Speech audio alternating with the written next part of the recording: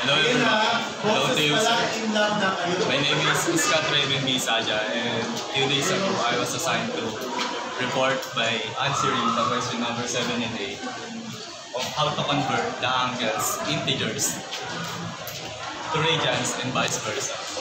The question number 7 is 780 degree and the degrees to radian formula is degrees times pi over 180 degree.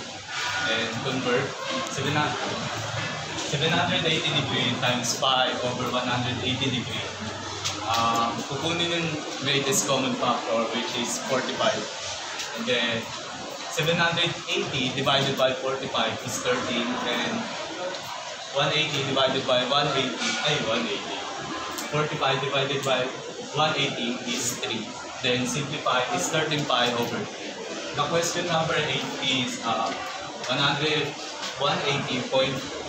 180.48 and ulit degrees to radians formula degrees times pi over 180 convert 180.48 degree times pi over 180 degree.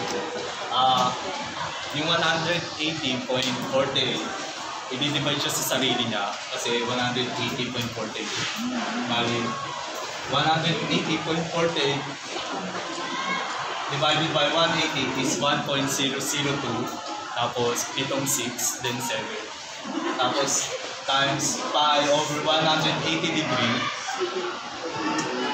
Divided by 180 is 1 then simplify is 1.002 tapos pitong 6 then 7 over 1 or pwede naman siyang ano yung sa fraction niya po is 376 pi or 500, 375. Thank you.